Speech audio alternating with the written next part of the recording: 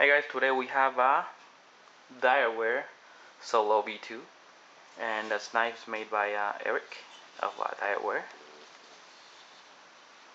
You see it? And um, I've been waiting for this knife for about uh, 8 months and if you, if you guys like this knife you better order now because um, then you will have to wait for one year and then a year and a half and then two years and then probably he'll close his order books and you won't be able to get his knife.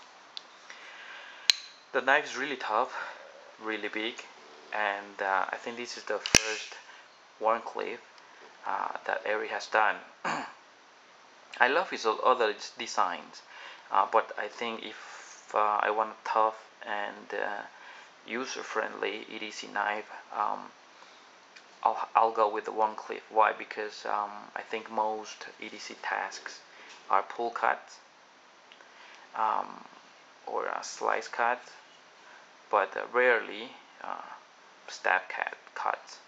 Um, so I asked him if he can do a uh, Wharncliffe style, and uh, he said no problem. And this is how it turned out, uh, which turned out really, really amazing. I love the the thick, the wide tip uh, it provides you a, uh, strong tip and at the same time you can use it uh, to do light prying uh, if it's necessary. The blade is a, a thick 5 millimeter uh, blade. I use S35VN and it rests on this uh, stop pin. Eric uses some sort of bearing system. I think he uses some sort of bearing system. Uh, it doesn't say, but uh, it feels like a bearing system. Maybe it's uh, the one that um, Gus at GTC knife uses. It's a caged stainless uh, caged bearing system because I don't see IKBS on, on top. So might be a caged um, ball bearing system. Uh, the knife is very very tough very very comfortable in the hand at least in my hand. Uh, it has a very very thick carbon fiber thick and strong carbon fiber a very thick titanium frame lock um, a big nice sculptured uh, TI clip. And you get a tip up or tip down uh, options which uh, very few custom knives uh, gives you the options. Big and thick standoff um, I don't think the this one is necessary but it's there actually. Actually the knife so strong you probably just need uh, two standoffs uh, you don't need five standoffs maybe six including this one. Um, it is just so strong because you can feel it in the hand uh, the weight the size uh, everything is just right. The thing is very sharp and uh, the lock is very very early. Well yeah it's early but it, it's very secure. Uh, the knife has no no movement um, open or closed. You can see it's no movement.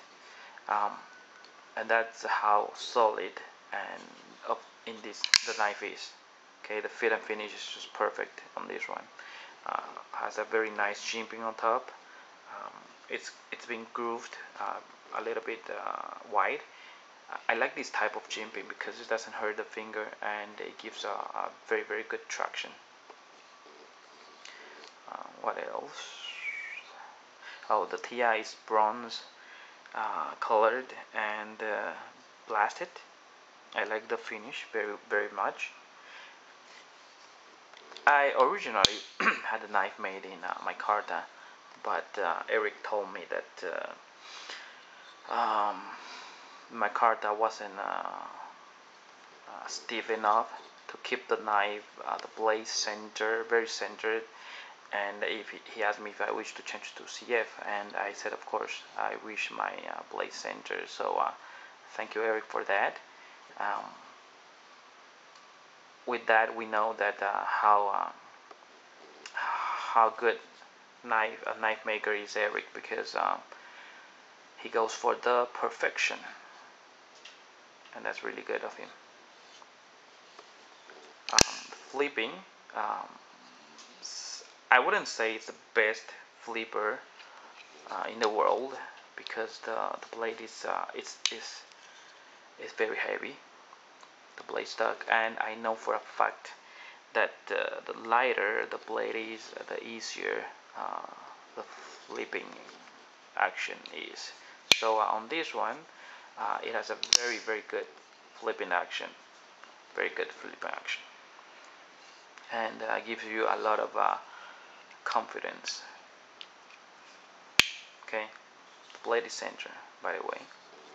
And uh, I love uh, clips very well carried out and uh, you can have it tip up or tip down. Uh, the, the carbon fiber is uh, thick weaved carbon fiber and uh, this thing is just thick. It's, it's thicker than the TI side so uh, you can have a uh, running over and the thing will not even move. Okay um, I believe that Eric makes almost if not every part of this knife. Um, the pivot. Uh, I've never seen a pivot like that so I believe he made a pivot. Uh, he made the stop pin of course the blade um, the TI the clip. Um, maybe the only thing that it's not made by him are the screws here. Here you see here otherwise everything is made made by him even the standoffs uh, because you can you can um, you can see that it's uh, man-made instead of uh, instead of machine-made. He also made a, a, very nice cutout in between so you can dig your uh, thumb in and uh, oh I love the knife. Alright guys hope you like the knife. And uh, place an order uh, with uh, Eric from Direware um, his knife is not very expensive at all. Uh, it's very well priced. And I think every month he's gonna throw out some uh, special uh, version of the knife with more exotic steels. Maybe Damascus. And that's it. Go grab one seriously. Um, the knife will go up in price um, like uh, what 30 40 percent in the aftermarket right after you get it. So um, it's a good investment and it's a good functioning knife. So don't wait okay? See you guys later bye